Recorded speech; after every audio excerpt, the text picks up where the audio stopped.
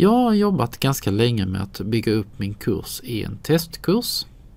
Så här har jag min testkurs med hela min kurs färdig. Och nu äntligen har jag fått min skarpa kurs.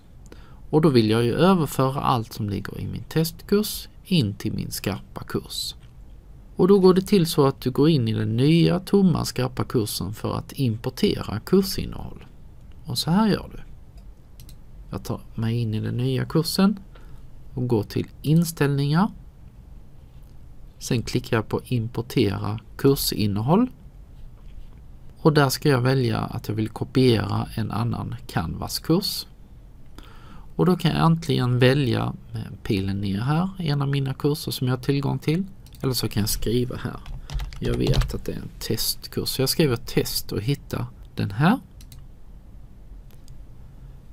Sen är rekommendationen att du väljer specifikt innehåll. För om det är så att du väljer allt innehåll så får man inte bara kursens innehåll utan också alla inställningar.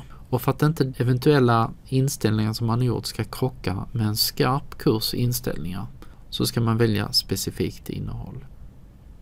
Canvas kan justera datum från en termin till en annan.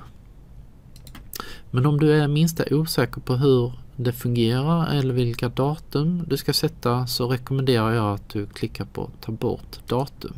På det sättet kan man minimera risken att man gör fel och istället gör du så att du går in i kursen och kollar inlämningar och dylikt som ska ha datum och lägger till nya datum så att det blir rätt.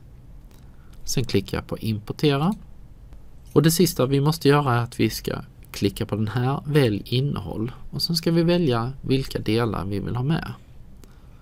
Jag vill ha kursöversikt, mina moduler, mina uppgifter, quiz, frågebanker,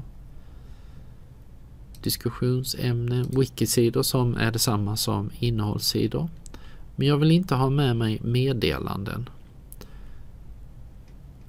Kalenderhändelser och filer vill jag också ha. Om jag vill kolla vad som finns under så går det att trycka på pilen och då kan man välja ytterligare. Men jag är nöjd så, så jag trycker välj innehåll. Och vad som händer då är att det står att den är köad och sen så kommer den att arbeta och efter en stund så är den färdig. Nu är den färdig. Då kan jag gå till min översikt igen. Och när jag klickar på min skarpa kurs så tada, så finns innehållet från testkursen. Glöm bara inte att publicera kursen om du inte har gjort det.